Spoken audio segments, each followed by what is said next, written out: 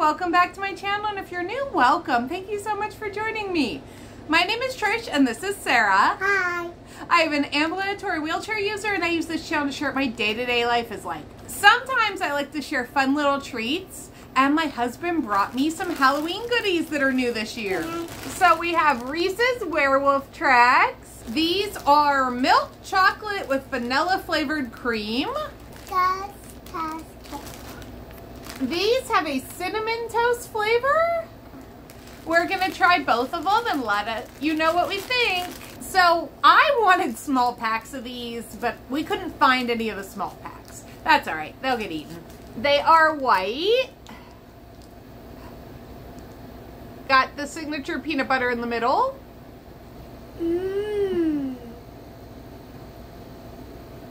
It only tastes slightly different than a regular Reese's. It is good though.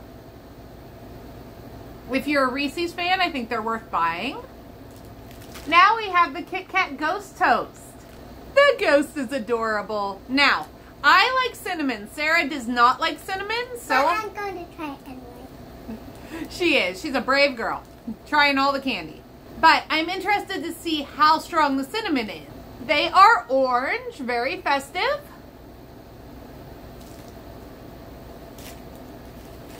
They are very cinnamony. The cinnamon's very strong.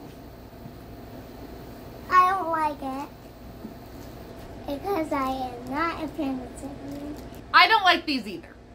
I'm not a fan. I don't like them necessarily. I'll probably eat them because that's who I am as a person. But I might just send them to work with my husband because they're not great. But I did like the um, werewolf tracks. Those were good. So there are uh, two Halloween treats that are new this year. And if you try them for yourself, why don't you drop a comment and let me know? That is all I have for today. If you are new here, don't forget to hit that like and subscribe button, and I'll see you soon.